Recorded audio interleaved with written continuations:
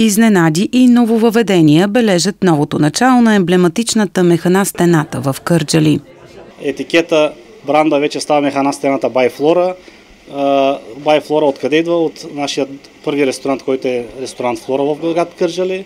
И новото, което ще бъде в механа стената, че ще за първи път в област Кържали, механата след определен час, след 10-10.30 ще се превръща в тип дискотека.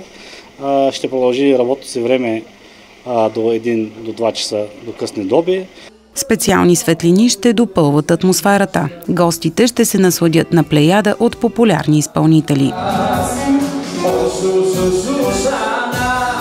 На 6 май е, подготвим още една по-голяма изненада.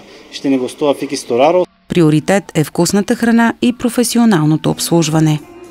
Може да кажем за кухнята. Специалитета на, на нашата механа се остава телешото сокалче, което е уникално за региона.